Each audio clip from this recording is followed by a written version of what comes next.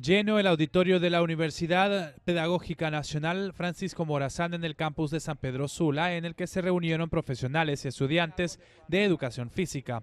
La carrera preparó un simposio en el que abordaron la prevención de lesiones y la atención integral a las mismas. Nos hemos unido en una alianza aquí, algunas instituciones que trabajamos con lo que es el deporte y la educación física, como lo es eh, la Universidad Pedagógica, a través del Departamento de Educación Física eh, con la Escuela Internacional San Pedrana también, con eh, miembros del Instituto Municipal de Deportes y también con una organización que se llama Atletas en Acción.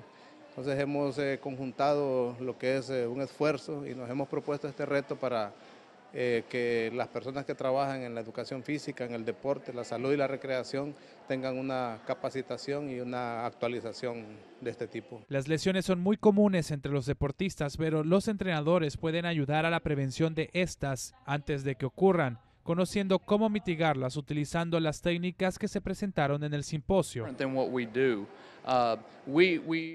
Somos entrenadores físicos de acondicionamiento de la fuerza pero trabajamos bastante con lesiones y si sabemos cómo prevenir esas lesiones, como muchos de los asistentes que ya comprenden eso, es el aplicar ese conocimiento. Ven a un atleta que está lastimado, entonces van a atenderlo y tratan de saber qué es lo que ha ocurrido y ya saben cuáles son los pasos que hay que seguir para que el atleta pueda incorporarse rápidamente de nuevo en la competencia.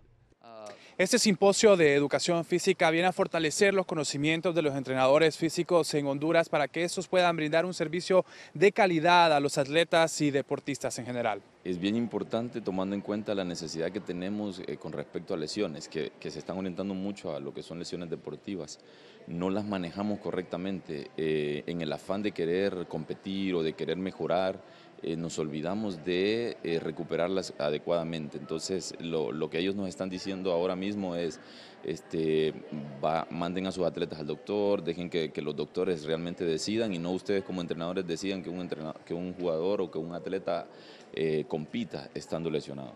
Honduras experimenta un despertar en las actividades deportivas y físicas. Sin duda alguna, este tipo de conocimiento viene a mejorar la calidad del entrenamiento profesional.